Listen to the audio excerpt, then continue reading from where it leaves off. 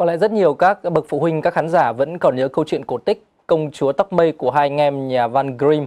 Và nhân vật chính trong câu chuyện là công chúa Rapunzel có mái tóc vàng dài tới mức có thể thả từ đỉnh tháp cho xuống mặt đất. Vì đặc biệt như vậy nên tên của nàng công chúa xinh đẹp này thì cũng được đặt cho một hội chứng trong y khoa khi tóc của bệnh nhân kết dính lại với nhau và bệnh nhân mắc cái bệnh uh, thích ăn tóc và tóc kết dính lại ở trong dạ dày của họ. Và bệnh viện Nhi đồng 1 thành phố Hồ Chí Minh vừa tiếp nhận một ca như vậy. Các bác sĩ phẫu thuật và lấy ra một búi tóc dài hơn 40cm trong bụng của một bé gái 6 tuổi. Búi tóc kết tròn chiếm 3 phần tư dung tích dạ dày và kéo xuống tận ruột non.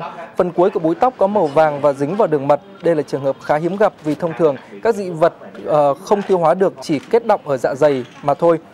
Mẹ của bệnh nhân cho biết là cháu bé có thói quen tự giật tóc mình và nhặt tóc rụng xung quanh để ăn, thậm chí là với cảm giác rất thèm thuồng.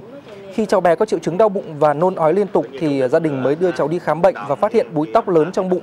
Chính vì à, thường xuyên ăn tóc và tóc không có chất dinh dưỡng nên dù 6 tuổi nhưng cháu bé chỉ nặng có 13 kg. Bác sĩ Đào Trung Hiếu, người thực hiện ca phẫu thuật cho biết lo lắng lớn nhất là tình trạng sang chấn tâm lý và làm thế nào để cháu bé từ bỏ thói quen ăn tóc. Và trường hợp này thì được gọi là hội chứng Rapunzel khá hiếm gặp ở trên thế giới.